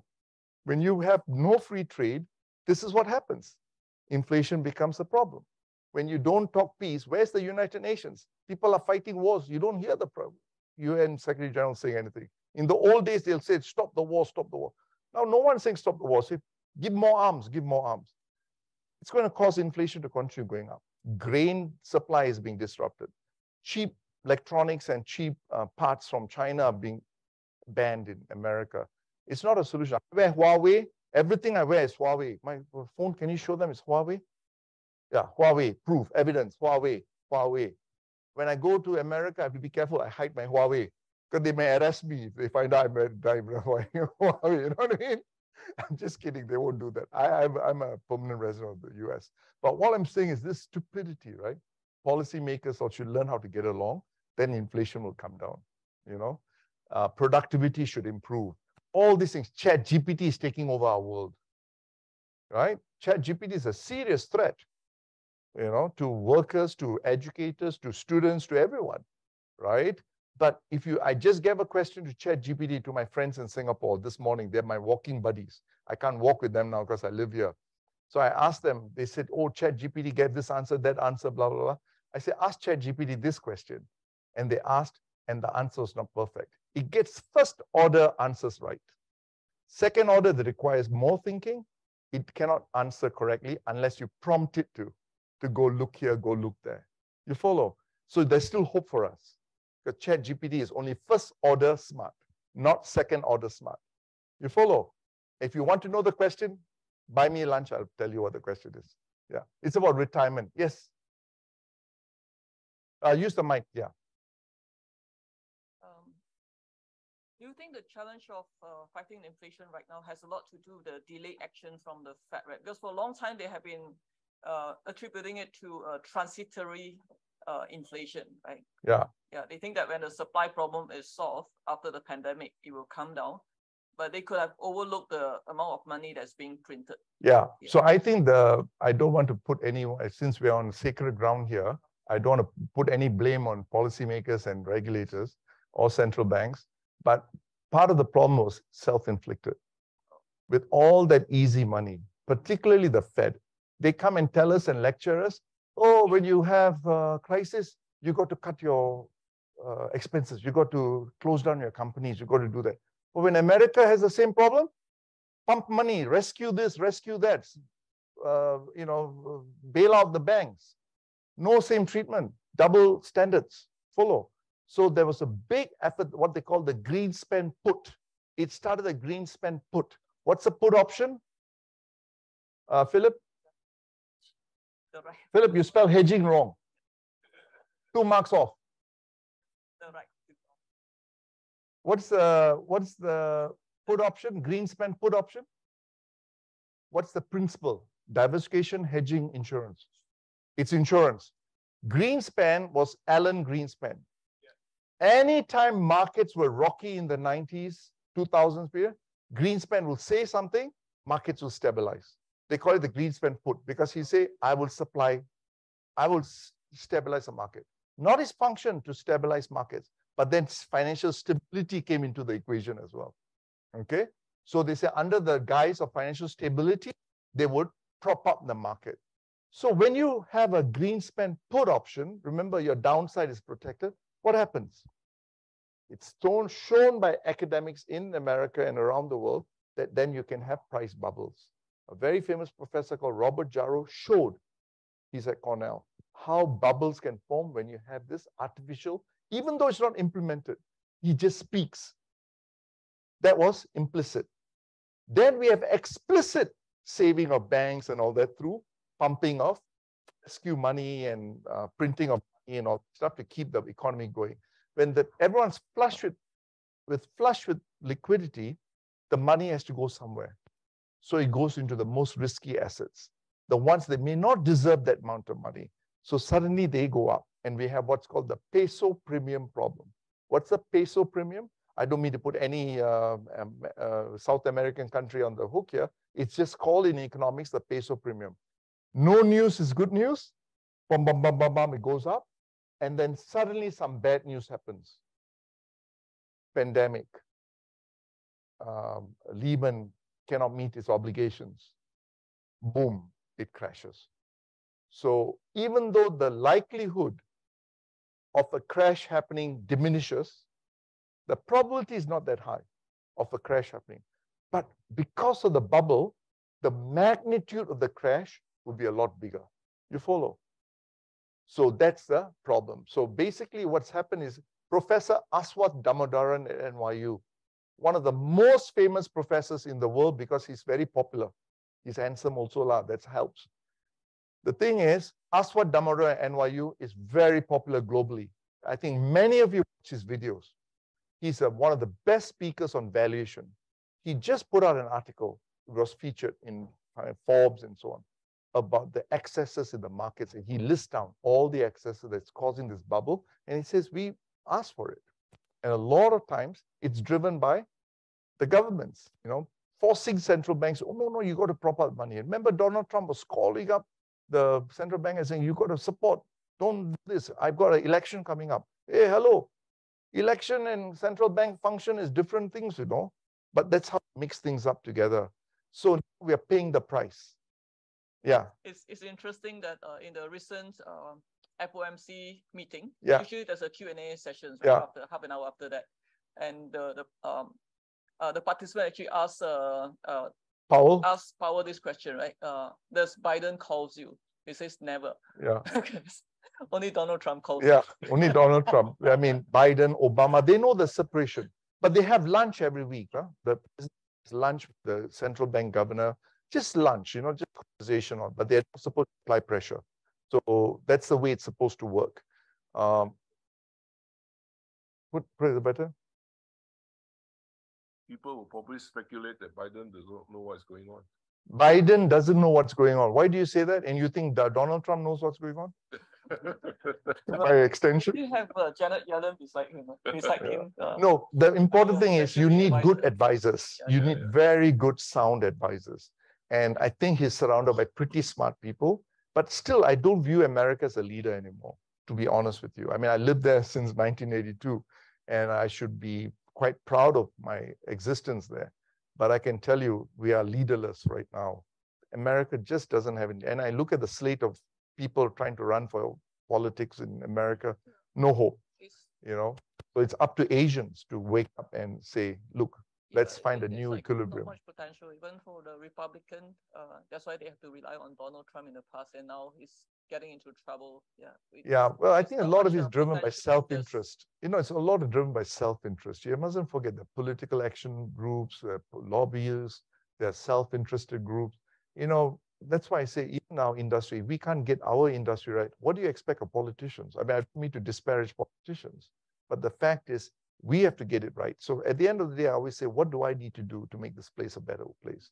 I can impact the financial industry. I can give talks. I can advise governments, and I do. You know, that's how I impact. And because of that, the CPF in Singapore is a much better system now because we are part of the team that advise the government how to improve the CPF. You cannot be kiasu, you know. You got to help the people who are poor. You know what I mean? Singapore very kiasu. You know the word kiasu? Uh, he said, no, you must have programs to support those who are fallen off the track. You can't do meritocracy, meritocracy all the time. You know, the people who need support have to be supported. So, but the CPF should not be for the, you don't give the subsidies to the rich. You follow, let them take the risk, let them do the things. And the second thing is, I said, you must have a lifetime annuity product. They have CPF Life now. Everyone can buy CPF Life. Life annuity. One thing I try to get them to do, uh, I hope I'm not violating any official secrets act of Singapore here, but never mind. They're still my friend. Inflation indexing. I tried to get inflation indexing the product, no inflation indexing. Unfortunate. And now you look at it, COE, you know, the COE. I'm not trying to disparage Singapore. I'm just telling you, this is the reality. 12, 2012, you tell me, no, no, it's a thing of the past. Now look at the COE price. You know what COE is? The option to buy a car is at 120,000 Sing dollars. You know, Just to get the option to buy a car is 120,000 US dollar, uh, Singapore dollars. To buy a house, it's through the roof. It's so expensive that they put in cooling measures just two days ago. So the thing is, you can't predict where things are going to go. You just got to protect. And as a government, you have to take care of your citizens. And that's what we are trying to do here. A group of us, not just me, to make sure that we redesign things so that everyone's safe in retirement. Yeah. One You're not the- a regulator, are you, by any chance? No, no, no. I'm not. Oh. Just checking. Financial educator. Oh, okay. so, Yeah. Uh, one of the common question I get is about the USD devaluation uh, Yeah. risk, right? Would you have time to cover that? Because I think it's a very important aspect to uh, to to protect, right? Rather than US dollar devaluation. yeah, yeah, not just the inflation because of the BRICS initiative. Uh, I know it's not easy to you know remove US dollar from a reserve currency, but it's also not impossible, right? Yeah. the past, it's always end up with a war. But you know, if if we were to uh, just protect against inflation, you know, what if something happened to? I mean, there's so, already so much talk about USD devaluation. How do Yeah. we protect? So the thing is that the thing about the US dollar that people are talking about is they're saying there's substitute currencies and substitute uh, vehicles. But you know, you have to understand that according to SWIFT records, uh, the pa- payments records, about 90 plus percent of transactions still use the US dollar. Okay, so that's not going to go away. There's a guy called Professor Eswar Prasad. I don't know if you've heard of him. He's written a lot on the US dollar and he's a China expert. In fact, he advises the Chinese government. He used to be at IMF. Now he's a professor. You should read his book, Eswar Prasad, The Strength of the Dollar. He gives a cogent argument, Eswar, E-S-W-A-R, Prasad, out in America. He basically has given a cogent argument why the US dollar will remain strong for a long time. I mean, at least the denomination of uh, exchange, uh, primary. But here's my argument, and I've written about this before too. In you can search in Business Times in Singapore or something. Back in the early days, why don't Asian countries settle among themselves by bypassing the dollar? Just do it central bank to central bank. Create swaps. They already have swap lines. There's already FX swap lines. Make it permanent so that when I buy something in renminbi, the central you settle with the, the central banks will settle it automatically. You don't have what's called the round trip cost. Malaysian ringgit to US dollar, US dollar to renminbi, and vice versa when you reverse the trade. That's a transaction cost. So But it's already very pervasive right now. Even Argentina is settling in the renminbi. No, I know, but it's still not enough. It's not enough. Uh, what I'm saying is ASEAN and Asia should do more of these things. They are doing that, but they should have done this ages ago. You know, when AIIB was formed, Asia Infrastructure Investment Bank, we talked about this as well. That was back in 2017, 16, I forget when was the AIB formed. You know, sometime back. But that is looking after our own interest we should settle in our own currencies. Why go through the US dollar trade, right? So I'm not saying we should avoid dollar. I'm just saying we should look out for our own interest. We are paying a huge transaction cost. Then who's making all the money? The bankers. Nothing wrong with that, but you don't need to make that. So if you notice now when you exchange money, my wife sends money to Japan for some things and all that. I can't believe the exchange rate the bank is giving. HSBC, Citibank rates are are almost on the dollar from the website you see. Why? Is it because they're good-hearted and became benevolent? Why? Why do you think the bank's offering such good exchange rates now when you want to transfer money out? No, no, no, no. Have you all heard of Wise? Is it called Wise? Oh, wow. Wise, right? And huh? Instarem, I think Singapore is Instarem. Wise, there's a whole bunch of alternative payment mechanisms for exchange transfer. They are providing implicit competition to the banks. So you got to thank those guys for coming in and telling the banks, you can't make these kind of spreads. You know the spreads they used to make? Amex. You, you don't know if you use your Amex card and pay in US dollar, the exchange rate they used to use in the old days was horrible, the worst ever you can imagine. That's how they make their money. In addition to the commission they charge, 2% commission, they charge the uh, service provider. On top of that, they make money out of you from the exchange. Now you go look at your Amex card. I don't know, I've got a US Amex card, if you, I don't know about Malaysian Amex card. But US Amex card, when I look at the exchange rate, it's so competitive. I, we don't even use other cards. We just use Amex. So competitive. They don't, they're not benevolent, not good-hearted. It's because of the competition. So the platform providers were actually quite um, crucial in bringing transaction costs down. Now I'm saying central banks should work more actively. Now, of course, America won't get upset. Uh, America will get upset. They want the dollar to be the dominant currency. So you don't go around bragging and saying, oh, we're doing this, we're doing that. Do it quietly, behind the scenes, you know? Yeah. Oh, dear professor, wow, so polite. Who is this? Uh, William. Should Asia settle a new common Asian currency or ASEAN currency like euro? No, no, no. I don't think we need to set up a new currency. We can just continue the currency because each economy is so different at different stages of growth. You cannot have this euro problem. Germany was far ahead of Greece and the whole place went out of whack. Greece went bankrupt because of the difference in the growth rates and the wealth levels. You remember the euro crisis we had. We don't want that. We are too diverse in Asia and ASEAN. Let us all have our own currencies. If we want to be like Brunei and index to Singapore dollar, that's fine. Brunei does that. You Singapore dollar and Brunei dollar is exchangeable. Monetary union. They do it by choice and it works for them because it's a small country. You can do that, but don't force it upon us like the way uh, the euro did, EU did. But what I'm saying is, despite all the differences in currencies and growth rates, we should work more closely together in our own self-interest. Okay, um, central banks should work, and but don't brag about it. Just quietly do these things. You know what? Don't get Russia, America, and all these people upset. Do it quietly because you know you don't want to humiliate anyone, but you're doing it in your own interest. Nobody is upset when you do something out of your own interest. You know that means mutual interest. That rather.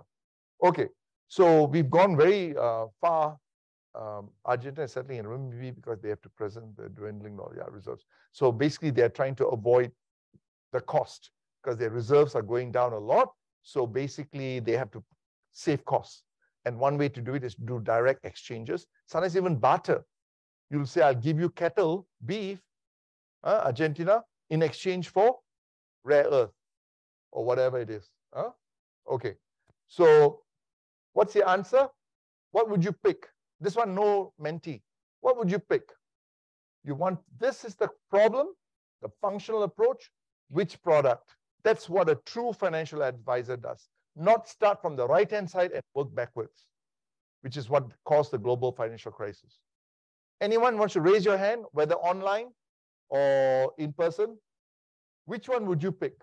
Based on these three things on the left-hand side was the investor's requirements to you as an advisor? Anyone? Very quiet at the back. Anyone? Want to raise your hand and try? What would you pick given these three needs? Which one? Target income. Perfect. Excellent. That's what I would pick as well. Target income or life annuity, like the CPF life. Unfortunately, EPF doesn't offer that, does it? Does it have a life annuity product? Not yet, but they will probably um, offer you some kind, hopefully, they've been talking about it, some kind of life annuity product. Okay, America has it, Singapore has it. It's like a pension, but it's provided by the government. CPF is Singapore government. In America, it's not a government, but it's a 401k. Okay, working with, because they're very big, they're billions of dollars, so they can work with providers, insurance providers to give you a life annuity. Okay, in Malaysia, it would be the EPF because they are the government authority mandatory social security saving system. Next question. Goal is to provide for four years of tuition fees and lodging at a university, beginning when your child is 18 years old. Let's say your child is six months old now, 18 years from now. That's a long runway, correct? So you want to give four years of tuition fees and lodging. In America, uh, America, you know it's very expensive in America, right? To go to say Yale or MIT or Stanford, very expensive. So put yourself in that client's mind. He or she is not thinking of, you know, a small community college or Polytech. He's thinking or she's thinking of Stanford, MIT, Princeton. What would you advise? invest in growth equities when your child is young, then moving your investment slowly into bonds as they approach 18, as child approaches 18, or buy a laddered inflation index bond portfolio maturing at age when your child is 18, 19, 20, 21. What would you advise? Second one. Now, some will advise the first one. Okay, they could.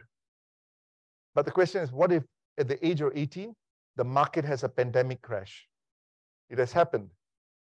Some of my friends in America who are professors, when I was a professor, 1998, the market crashed. LTCM crisis. The market crashed. They were going to retire. They had this huge pot of money in mutual funds in their 403b. For professors, it's called 403b. Huge pot of money. And they put in mutual funds, high fees when the market crashed by 25, 30%, their mutual fund crashed by 40, 50% because of the fees and because of bad performance.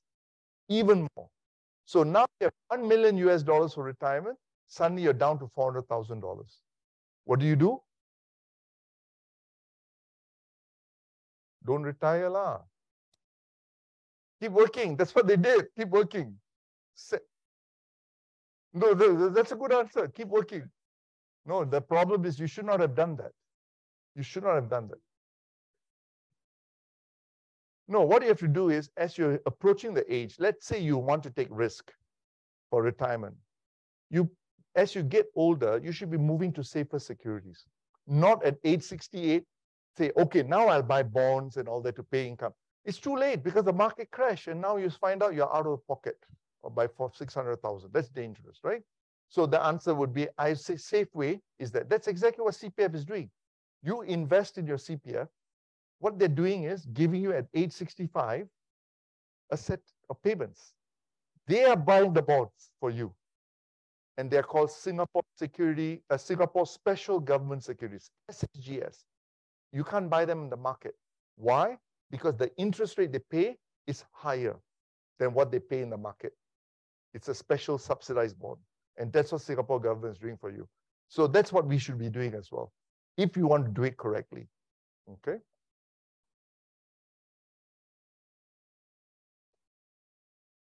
You want to think about diversification, hedging, insurance, and the associated costs when planning your lifetime wealth and financial management strategy. You go and start a fintech company. Nothing wrong with that. I told you fintech companies and platforms have brought benefits. So I had a group of students at NUS. We have what's called NUS Enterprise. Yeah, it supports startups and all that. World class. It's second to Stanford's enterprise thing. Very well known. So group of students got funded by the NUS enterprise. They came to me and said, Prof, we want to talk to you. We want you to be our advisor. I said, what are you doing? We're starting a financial ro uh, robo, robo advisor. Young kids, you know, for, uh, juniors in college and all that. The same type of people who start Carousell, who did well? Carousell, same. They were all NUS students. They came and told me. I said, what, what do you think you know more? Computer science. They're not in, not even MBAs. They're from computer science undergrads. I said, what would you like to do? Say, we're going to make Piyush Gupta eat his lunch. Do you know who's Piyush Gupta? Don't know? Nobody knows Piyush Gupta? CEO of DBS. You know who's DBS? uh, the biggest bank in Southeast Asia, DBS. We're going to make Piyush Gupta eat his lunch. When I heard that, I said, okay, sorry, thank you very much. I'm too busy, you know. You can't walk in here and say, I'm going to make the bank eat its lunch. Because what is Piyush Gupta doing? He's a very smart guy. He's brought DBS through huge profitability and so on. Biggest bank now in Southeast Asia, trying to acquire things in China, Hong Kong, and so on. He went and bought out startups. He went and did organic startups. Now they've got one of the best robo systems. If you go look up DBS, they've got robo advisor. Whether they built it internally or externally, how are you going to compete? And he offers even lower fees than you. So the question is, you have to see how can I work with the system? If there is a true solution I have that can disrupt the market, yeah. But don't start by saying I'm going to disrupt Piyush Gupta's lunch. That's really a false premises. I'm sure the company doesn't exist anymore. But my point is, be careful what you wish for, right? When someone comes to you, this first see what are the alternatives out there? Are there solutions out there? In fact, there are two very good outs, um, um, robos. StashAway, I think they have office here in too, Malaysia. StashAway, um, I may not agree with everything they do, um, but the thing is, um, they are bringing costs down. Second is Endowus. They don't have an office here. They're in Singapore and Hong Kong. Endowus is a Singapore robo. That what they've done is they brought costs down so much that it's become such a wonderful risk-adjusted product to invest in for your retirement. So much so the CPF was the first, uh, the first ever robo allowed on CPF was Endowus. I'm not trying to promote any company, but I'm just saying there are companies that were adding value and they still survive. Okay. And Endowus was run not by computer science juniors or nothing wrong with that. It's run by two principals who came. One was a Morgan Stanley CIO of Morgan Stanley Investment Management. He's Korean, and the other is Singaporean, um, who was at Goldman Sachs Asset Management. So these were people who were knowledgeable about the space, who partnered with some very smart computer scientists and technologists and worked together and built a product. I'm sure StashAway is the same story. I don't know much about StashAway, but it's a similar story. That means they are knowledgeable of the system. Huh? They're, they're knowledgeable of what they're getting into. Okay, so so these are some of the shenanigans. How much time do I have? 10 more minutes? Okay, we're wrapping up already. So let me talk about the shenanigans. Okay, one is this um, late trading scandal. The late trading scandal is this. Like in Malaysia, in America, at 4 p.m., all the orders for mutual funds or unit trusts must be in. 4 p.m. You must put it in. After all the orders are in, they will clear the market, determine the price, what's called the NAV of the mutual fund, once a day at 4 p.m., 4.15 or 4.30, they'll get the NAV. Then you buy and sell at that NAV. Okay? There was a huge mutual fund crisis where what happened was I'm an asset manager.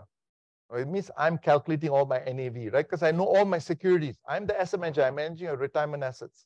At the end of the day, I want to give out the price, working with my custodian and trustee. What's the price? By 4 p.m., all the orders are in. But I'm an asset manager working in a universal bank. A universal bank means it's got a securities division, it's got a brokerage division, huh? like a UBS or a uh, Bank of America or a Citigroup, Universal Bank. They got asset management and the uh, security side. Unfortunately, no Chinese wall. So the securities can see the buy side, you know, the asset managers' securities. So they know the price and all that, uh, all that stuff. And they're also clearing the trades for them because they also are a seller of the mutual fund or buyer of the mutual fund for their clients, huh? private bank, whatever. So what do you think happens? Because they have internal system, they know the prices. They know the securities you hold. You're not supposed to know, but they know because shared IT platform. And then, not only that, four o'clock, all orders should be in. They will say, don't worry, we have access to the system. You can put the order in 415. Because after the market closes, there might be some market movements, okay, that changes the price. So they will put the order in after 415. So what Spitzer, Eliot Spitzer, this is totally wrong. Huh? This is completely illegal because you have to give the orders at 4 p.m. No, after the market close, you can give the orders in. This is against the Fiduciary Act of the SEC. It happened in 2003. The Attorney General said, it's like betting on a horse after the horses have crossed the line. You know, you know already who won, then you put in the order. Fair or not? Not fair. Good. I'm glad you agree. That's what they were doing. It's not in a horse race, which is very obvious. This is the financial markets. These are fiduciaries doing this, cheating on the IT system. You see, who was running this shop, doing these things? It was a systematic problem. Everyone's doing it. You know why? Herding. When one person does it, tells the other, all the banks started doing it. So that was the reason. And so basically, it costs the industry, that means clients, $5 billion per annum was estimated by a Stanford academic. 5 billion US dollars in costs to you because of this scandal. Anyway, people were caught. No one went to jail. People were caught. And uh, this happened with the global financial crisis of 2008, right? This happened in 2003. Five years later, we have this people selling toxic assets as AAA products. Toxic assets as AAA. They wrap it into something, underlying still toxic, subprime mortgages. But they wrap it up and make it look pretty and say this is a investment grade product. Then when the mortgage market blew up, guess what? No AAA. It was junk. You lost a lot of money. Hong Kong. Remember the Lehman mini bonds problem? Singapore. I don't know if Malaysia anyone's affected. Hong Kong, Singapore. People buying these Lehman muni bonds thinking it's a AAA product when it was not. Okay? So this is what it's greed is good. Don't ever watch this movie, Wall Street. I don't know if you have watched this movie. Handsome guy. Uh, forget his name. What's his name? Kirk Douglas. Uh? No, Michael Douglas. Married to Catherine Zeta Jones. Yeah, you know him? Uh, no. Oh.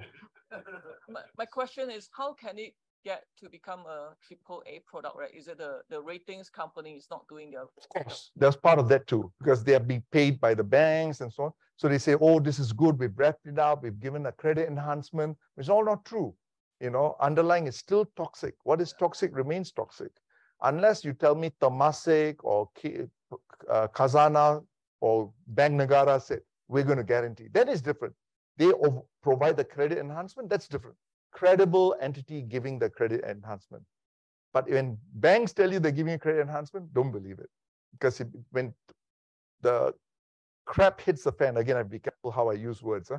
Crap hits the fan, it will blow up in your face. Clients get affected. Okay.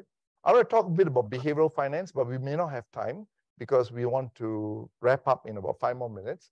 Um, but I would like them to maybe they can give them the slides, whoever needs it. If you request it, Hamid, um, you know, under certain circumstances, uh, will release it. Be nice. Yeah.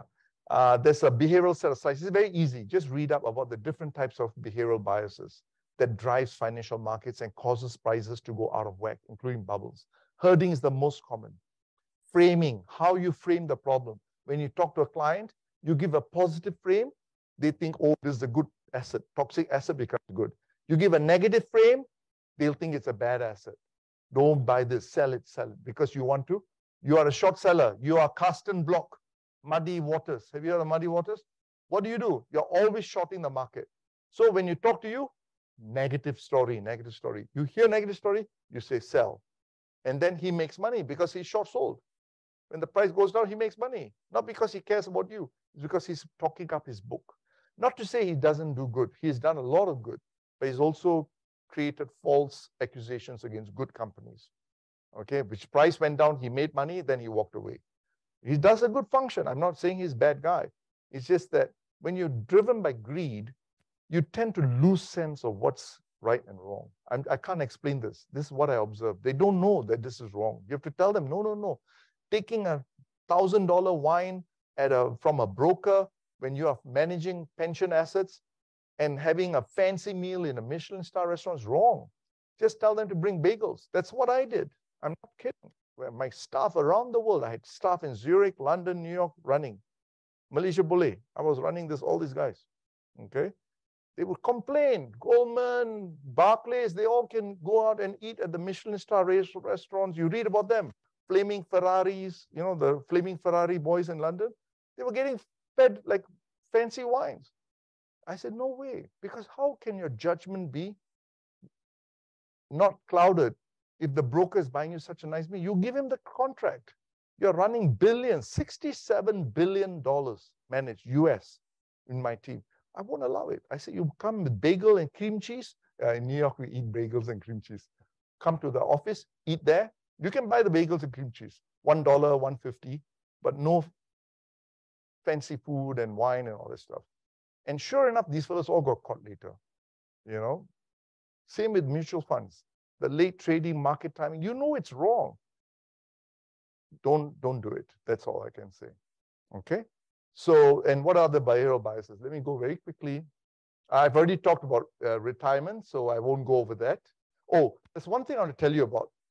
There's now a reverse mortgage scheme. In Singapore, we have what's called the uh, lease buyback, which is like a reverse mortgage scheme. You can monetize your home. That means you can actually get income for retirement. So Cagamas is a Malaysian National Mortgage Corporation. They've started this reverse mortgage scheme which is low cost, which tries to help the people.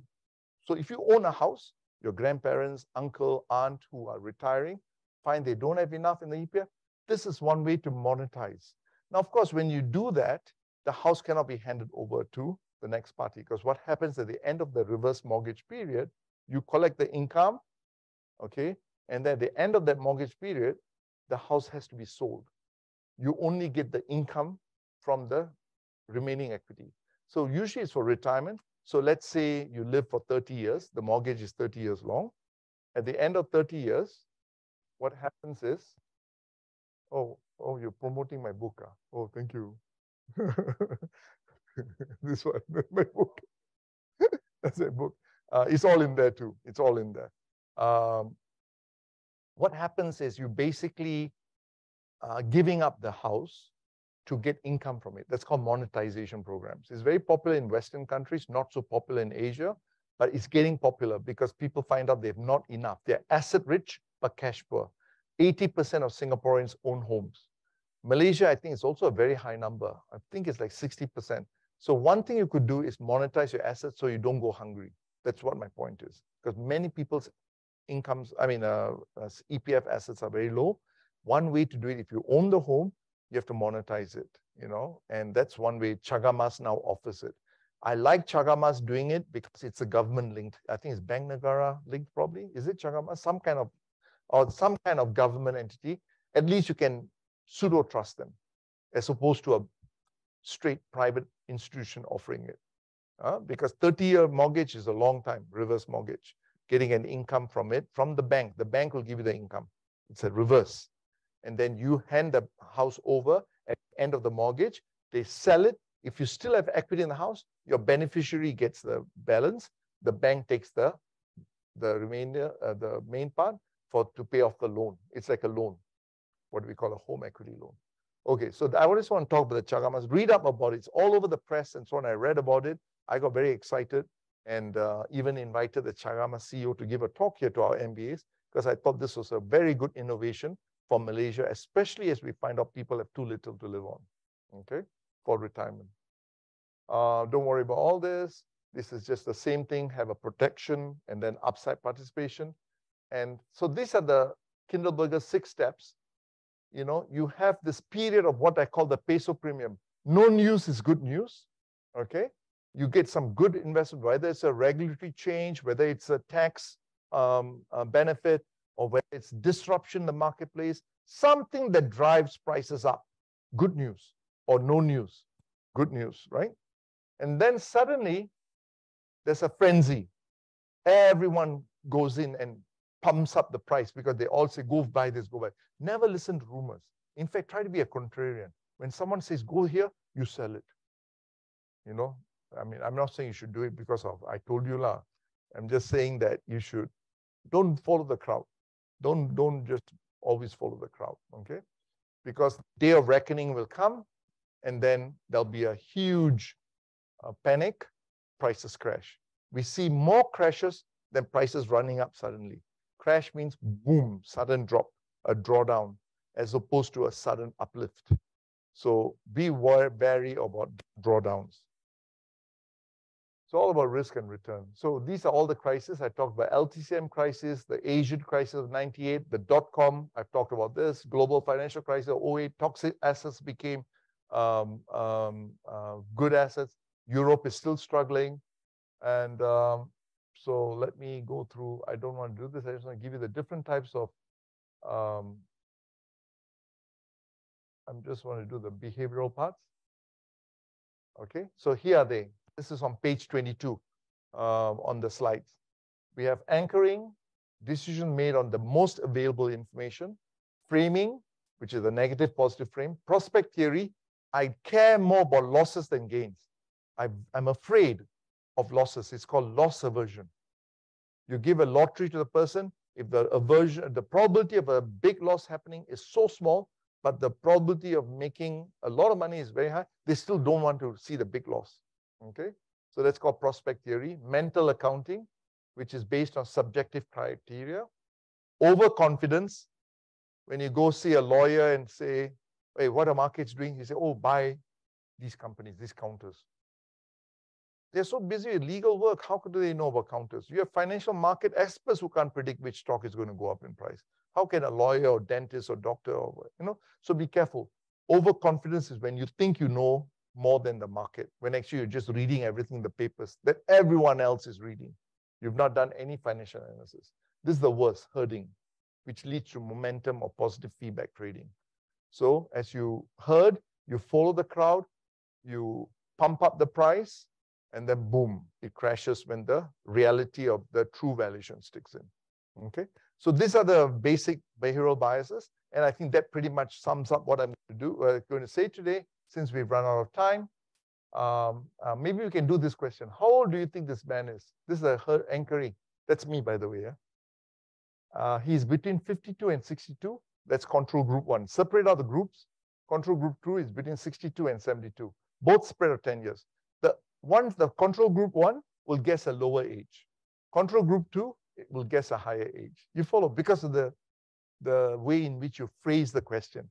That's called framing. Okay. So anyway, or anchoring, sorry, that's anchoring. Uh, another example would be framing. FDA has determined that approximately 90% of non-terminally ill patients taking this medicine will recover and lead a normal life. The FDA has determined that approximately 10% non-terminally ill patients will expire, will die. Same information, but how you present it, this is framing. How you present it will cause you to whether take medicine or not take the medicine. Anyway, so what I want to say is I think we're reaching the end of this.